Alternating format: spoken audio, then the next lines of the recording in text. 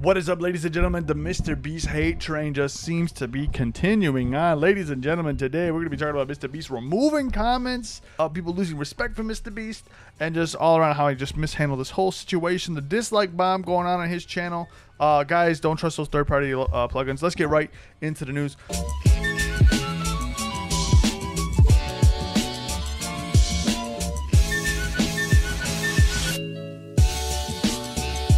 Yo, what's going on? It's your boy Fred. We're gonna say brand new video, and today we got the YouTube drama Reddit page coming up here, and they got a whole discussion feed going on about how they've lost all respect for Mr. Beast based on how he's handled the recent situation. You guys, you guys already know what it is.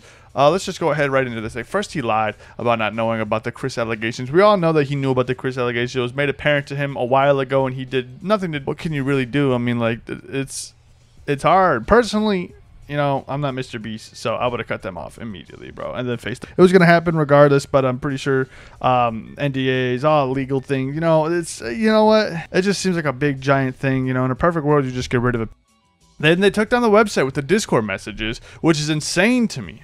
Mr. Beast is taking down the Discord, the, the website that was holding the archived Discord messages, which is crazy. Sending a cease and assist to the person who made the website and another one to Dogpack404, which is insane to me. Their legal team is trying to get ahead of this by silencing the crowd. And I'm telling you guys right now, every time these companies do this, every time these brands do this, every time these YouTubers do this, it never works out in their favor. So it really just makes it look like Mr. Beast is hiding from everything.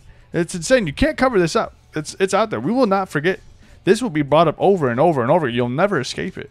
You're never going to get rid of it. Not to mention how terribly he ran everything with Beast Games and seemingly failed to take any accountability. He's now start he now he's now started tripling down and has turned his comment section and subreddit into 1984. They're super censored right now. Uh, most people can't even comment in the comment sections. The subreddits, uh, you say one thing, it's over for you. You're put on the firing line and you're shot down pretty much right away. The Mr. Beast games, though, I kind of agree with him. People are getting hurt at the Mr. Beast games, but he's also telling people to sign these waivers uh, because obviously you're going to get hurt. I mean, you don't look at Wipeout and think that those people just don't get hurt. They also have to sign waivers too. Uh, I don't see that as a big deal. I don't see that as like a, a big issue. Uh, so that one can get discredited right away. But the the Reddit and the comment section thing, I don't know if that was Mr. Beast directly. I don't know if he directly controls those entities. It might be the the representation, the firm that he used, the, the media company that backs Mr. Beast, they might be the ones telling him to do that. Um, I'm hard pressed to see Jimmy actually do that, but we I don't really know the logistics. It still looks very crummy, and Mr. Beast is still not really saying much other than that shitty response he had. I wish he had at least the decency to do the bare minimum and own up to everything and say it won't happen again. I mean, yeah, he's gonna say that, but it's still gonna happen. I mean, like we're still gonna hate on him, so that doesn't really solve the issue. That doesn't give us a resolution. Uh, it's really disappointing to see, and even more disappointing that his average viewer base will probably not learn about how manipulative he is or care about it. Now, I want to be real.